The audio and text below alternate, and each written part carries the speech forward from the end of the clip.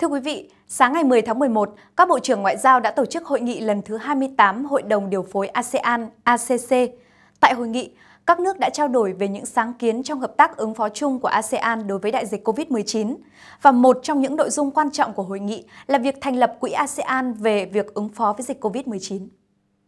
Cụ thể, Hội đồng Điều phối ASEAN lần thứ 28, các Bộ trưởng Ngoại giao đã nhất trí thông qua và trình lên Hội nghị cao cấp ASEAN lần thứ 37 tài liệu điều khoản tham chiếu của Quỹ ASEAN về ứng phó với dịch COVID-19 và kho dự phòng vật tư y tế khu vực ASEAN, khung chiến lược ASEAN về ứng phó các tình huống y tế công cộng khẩn cấp và khung phục hồi tổng thể ASEAN. Các bộ trưởng cũng kiến nghị các lãnh đạo ASEAN ra tuyên bố về thiết lập khuôn hình hành lang đi lại ASEAN và công bố thành lập trung tâm ASEAN đáp ứng các tình huống y tế công cộng khẩn cấp và bệnh truyền nhiễm mới nổi tại dịp cấp cao.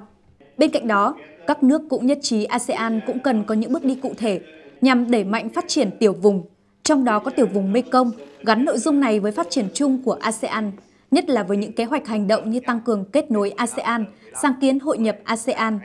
Hội nghị ACC lần thứ 28 đã nhất trí thông qua 11 báo cáo, gồm báo cáo của Hội đồng điều phối ASEAN, báo cáo của Tổng thư ký ASEAN và các trụ cột cộng đồng sẽ trình lên các nhà lãnh đạo tại hội nghị cấp cao ASEAN lần thứ 37, ghi nhận và cho ý kiến chỉ đạo.